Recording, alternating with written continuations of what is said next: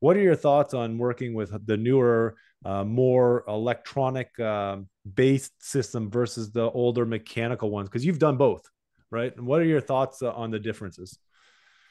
Yeah, so um, obviously the new sort of systems, I can dial into a store remotely on the contract that I was working on. I could actually look at the fault, diagnose the fault potentially before the engineer even arrived.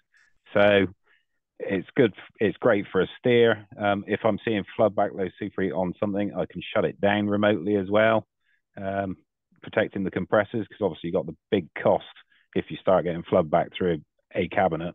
You know, for the sake of a transducer, uh, yeah, and you're risking compressors failing, etc. It's um, a no-brainer, really. But yeah, it, it's great.